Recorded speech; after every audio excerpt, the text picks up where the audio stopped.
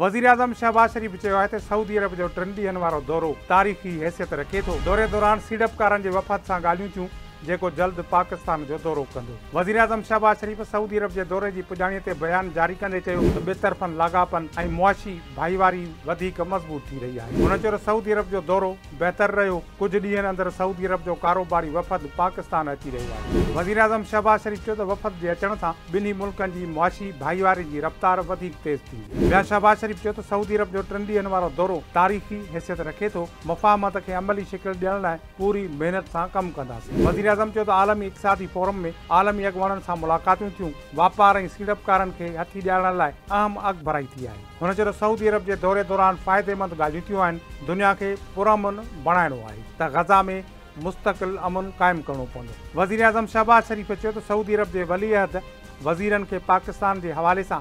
ख़ासि हिदायतूं ॾिनियूं आहिनि